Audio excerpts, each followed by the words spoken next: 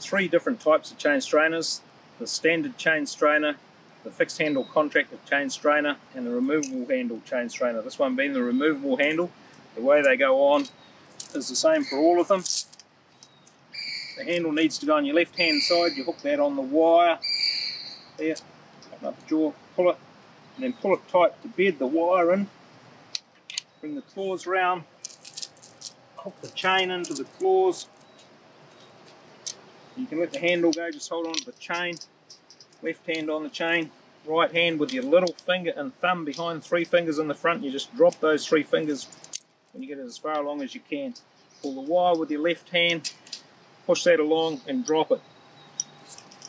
Now pull back on there to bed it in, keep the tension pulling back as you do it up. Get a little bit of tension on there and then check the chains going nice and straight. If it's not, it's got a swivel here so we can twist that.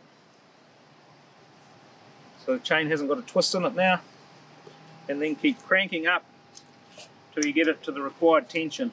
You can tie it off using a, a knot or crimp sleeve